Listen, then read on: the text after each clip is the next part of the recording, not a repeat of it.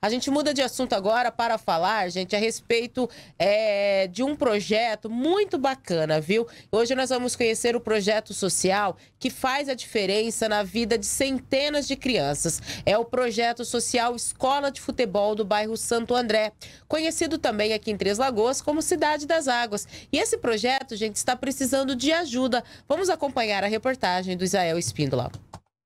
Todos os sábados de manhã, centenas de crianças acompanhadas dos pais têm um compromisso no campo de futebol do bairro Santo André. Crianças de 5 a 17 anos se encontram para jogarem futebol. Elas fazem parte do projeto que nasceu há 16 anos de um sonho do professor de educação física Enilson Rogério Romanini. O objetivo é formar cidadãos do bem através do esporte, como destaca o fundador professor Rogério. Nosso objetivo, em primeiro lugar, é dar oportunidade para as crianças de terem um espaço espaço e prática, a prática da atividade física e aí no nosso caso aqui a gente dá o ênfase no futebol de base. O projeto existe há 16 anos e atende 300 crianças de vários bairros de Três Lagoas, mas como todo projeto social, precisa de ajuda. A criançada são divididas por idade. O projeto não cobra nada dos alunos, cada pai ajuda como pode. Mas falta infraestrutura para atender essa garotada. Banheiro adequado com chuveiro, água gelada, entre outras solicitações. Aqui não tem rivalidade entre torcida pelo time de coração. Cada um veste a camisa do clube e vem jogar bola. Amor mesmo pelo esporte. O projeto, inclusive, sobrevive por conta do amor ao futebol e o amor a essas crianças, como pontua o professor Enilson. Muito amor, muita dedicação, muito profissionalismo, muita parceria. A parceria que eu digo é parceria com as empresas né, e principalmente com os pais, que são muito, é, vamos dizer assim, muito intuitivos. Eles têm muito, muito intuito com a gente é, e são dedicados e a credibilidade que nós temos junto aos pais com esse tanto de tempo que nós temos aqui, é o que nos ajuda e o que nos impulsiona. E foi assistindo os telejornais do Grupo RCN que a Cintia Mayra resolveu nos procurar para mostrar o projeto e, quem sabe, conseguir apoio. Inclusive, o filho dela é um dos alunos do projeto há um ano. A Cintia explica o motivo do pedido à nossa equipe de reportagem. Eles pediram ajuda, né? Falando que precisava de ajuda, porque não tem ajuda do incentivo da prefeitura. Então eu tentei, né? Falei, vou procurar a televisão para ver se aparece alguma coisa, se eles se ajuda de alguma coisa. Porque é um projeto social que eles não têm recurso nenhum. Agora mesmo está sem banheiro, sem água gelada.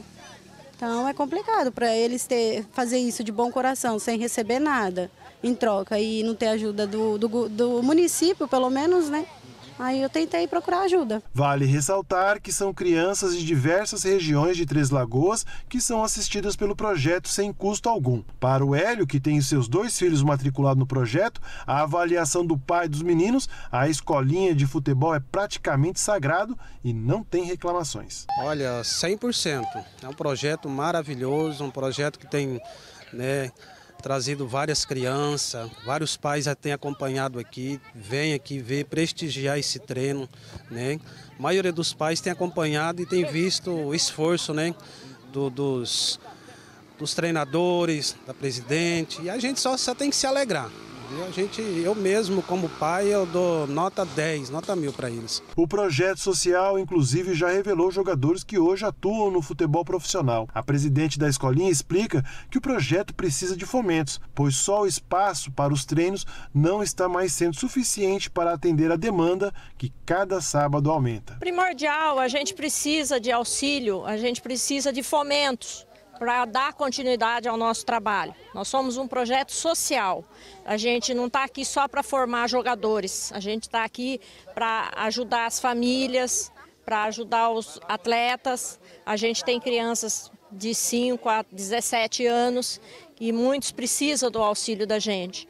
E como vocês sabem, sem um recurso a gente não tem condições para tocar o projeto em diante.